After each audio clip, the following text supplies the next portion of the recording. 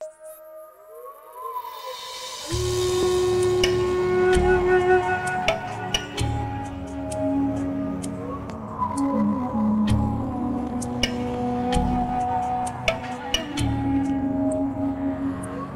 mm -hmm. you